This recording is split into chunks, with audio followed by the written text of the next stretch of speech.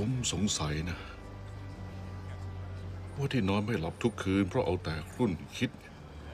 ว่ามันมีทางนั้นทางเดียวเหรอไม่มีทางอื่นอีกแล้วเหรอ